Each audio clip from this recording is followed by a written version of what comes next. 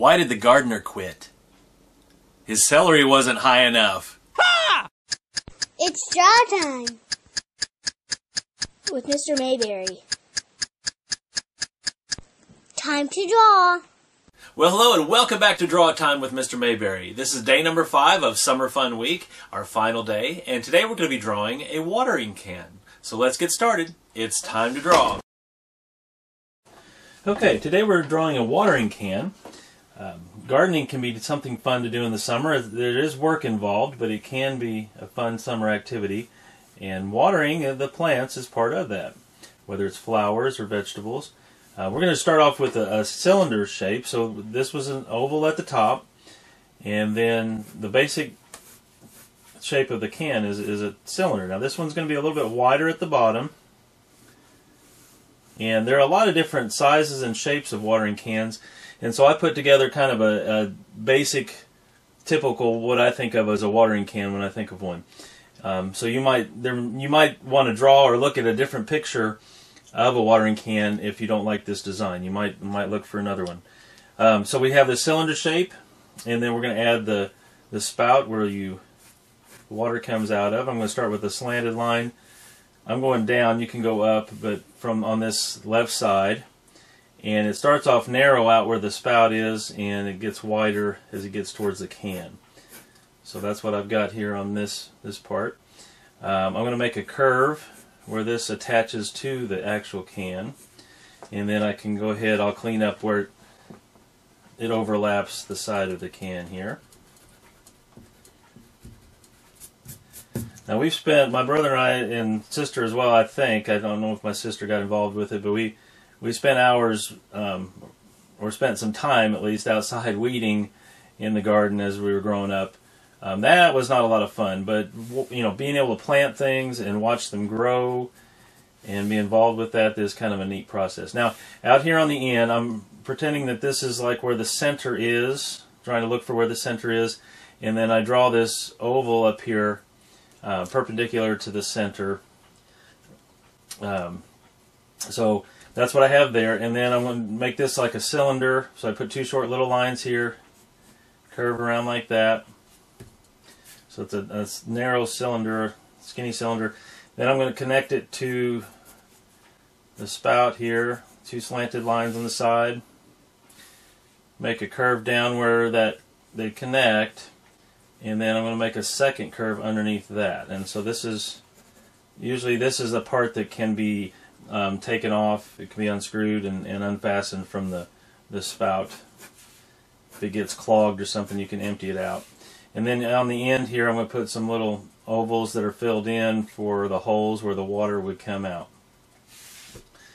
Okay, so that's the front of the watering can. Then on top, let's go ahead and make the where the handle is.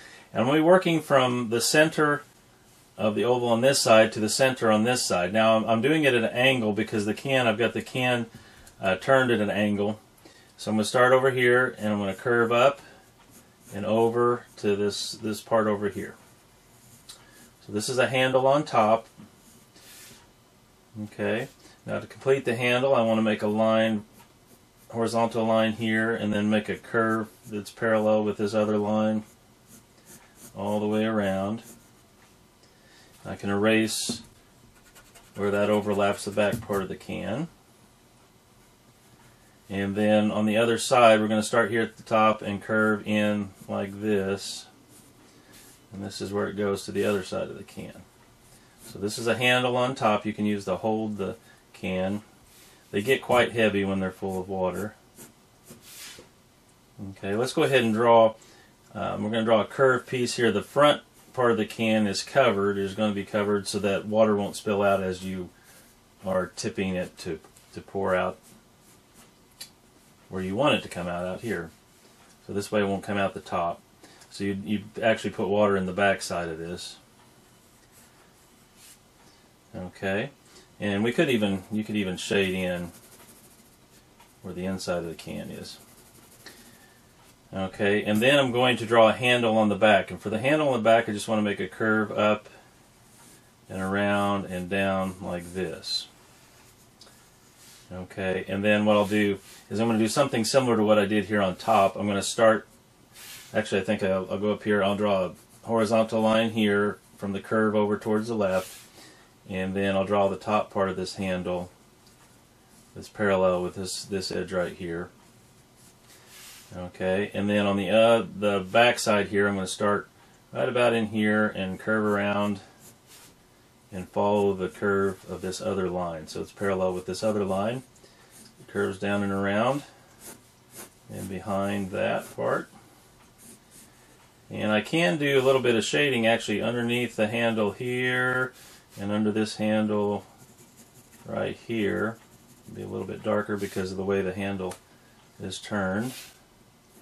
It would capture some shadow under there. The light would be hidden from that. Okay, so this is the basic design. I'm going to add just a couple little lines here, and then you could actually put some more decoration on there. Some watering cans have maybe a flower on the side or some kind of a, a I don't know, a dragonfly or something on the side. I'm just going to make a couple lines here that curve. This can, I would say that it's made out of metal. You could, they could be made out of plastic as well. Um, but it has, I'm going to put these two curves around like this is a trim on the can. And so this is our drawing for today, a watering can. Well, now that we know how to draw a watering can, let's take some time and see how we can add that to the big picture. Okay, let's take one last look at our big picture. Um, I went ahead and added the watering can that we did today. And before I did that, though, I thought about what I would put for the background, and I realized that I have. There's probably some of you that are watching from places other than America, and so I decided to let you know that these are things that I was able to do and enjoy as a child growing up in the United States, and so that's what we have here. And so I did the American flag as a background and then I, I looked and thought about where to place everything and decided to go ahead and leave things pretty much the way I had them throughout the week and then put the watering can here just to kind of balance the whole picture out.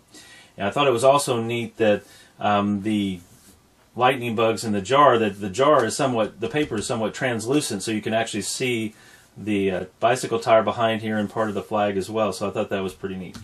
But uh, so that's what this is. This is a collage that we put, put together separate pictures that have been cut out and pasted down to make a larger picture.